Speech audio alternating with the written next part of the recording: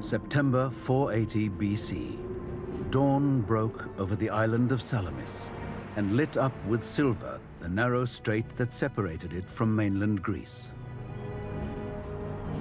The tranquil sea provided no hint of the battle that was about to begin. By the day's end, the Mediterranean would flow red with blood. At stake was nothing less than the future and independence of Greece, a patchwork collection of islands and city-states which lay just outside the reach of the greatest empire in the then known world, Persia. Persia was the world superpower of its day, enormously wealthy, enormously self-confident, the greatest multi-ethnic, multicultural empire the world had seen. An invasion force of epic proportions was armed and ready just over the horizon. As many as 700 ships carrying 150,000 warriors intended to add Greece to Persia's many conquests. But one Greek hero was poised and eager to do battle with them.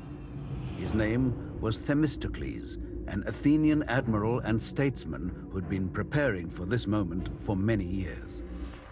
But going up against Persia, the world's greatest superpower of the time, would be no day at the beach for Themistocles.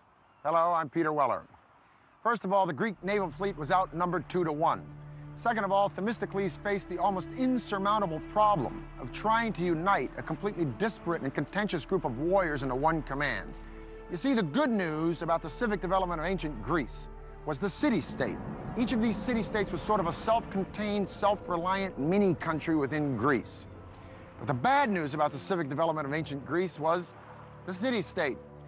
Because inasmuch as each of these city-states sort of spoke the same lingo, worshiped the same gods, there was really no sense of a national unity, and their only priority was their own particular regional and cultural agenda. At best, they didn't get along. At worst, they were violently at each other's throats. If there was anyone who could hold all the Greeks together, it was Themistocles, a man who didn't come from the ranks of the aristocracy and wasn't ashamed to let his fellow Athenians know it. He was always an outsider, and he saw himself as an outsider, and he uh, prided himself on his lack of polish. Uh, he said that he might not know how to tune a lyre uh, or to sing well, but he knew all you needed to know to make a city great and free. Themistocles was no stranger to waging war against the Persians. Ten years previously, a smaller Persian force had invaded Greece for the first time and fought Athens and her allies at the Battle of Marathon. At this crucial moment, Themistocles could bring that experience to Salamis and focus his strategic thinking on a fatal flaw he detected in the Persian war machine, its navy. He understood that water was not the Persians' natural element. Persia was a land power. In fact, Persian religion considered salt water to be demonic. Themistocles persuaded Athens to build a navy better than any other in the world. Work began at breakneck speed to launch a fleet of 200 triremes, the most lethal warships of the ancient world. Trireme's about 130 feet long. It's light and sleek, and it's tipped with a wooden ram covered in bronze at the water level, and that is the offensive weapon of the trireme. Might think of the trireme actually as a guided missile. The trireme contained 170 oarsmen rowing on three levels, 62 on the top level, 52 in the middle, and 54 at the bottom. On the lowest level, the rowers were seated so deep inside the hull that their oar ports were just 18 inches above the waterline.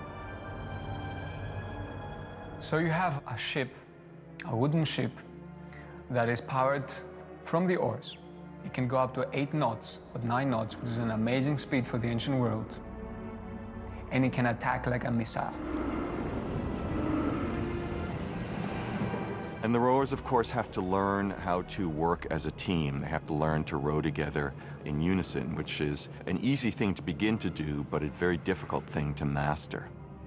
Themistocles' fleet of triremes was completed in only a few years, and just in the nick of time. In the spring of 480 BC, Persia launched its invasion. Themistocles knew the Persian fleet outnumbered the combined Greek fleet almost two to one, so he devised a plan to keep the Greek ships united and level the odds. He had to turn a disadvantage into an advantage, the fact that he had fewer ships than the Persians. So he had to lure the Persians, if you like, into such a battleground that they could not advance the whole ranks. So he can actually concentrate their power and strike it. So the best place that he could do that was at the Straits of Salamis. So Themistocles laid a trap to lure the Persian fleet into the narrow Straits of Salamis. Themistocles was a very cunning man, a great trickster.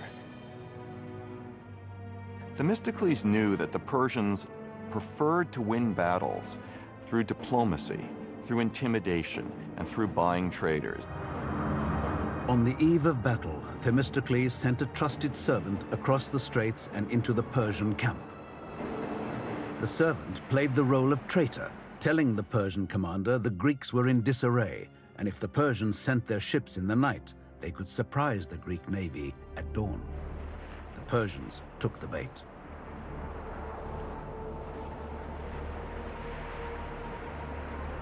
And so at dawn, the Persians discovered to their shock that the Greek fleet, instead of being about to flee, was getting into battle formation, and that they, the Persians, would have to fight.